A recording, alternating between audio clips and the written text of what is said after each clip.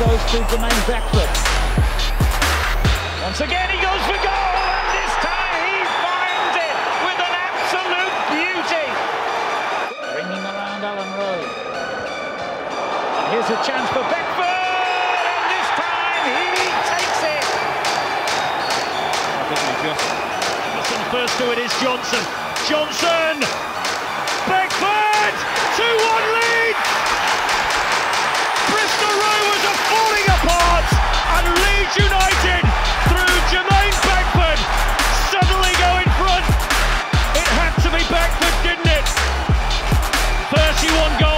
Season, and the championship beckons.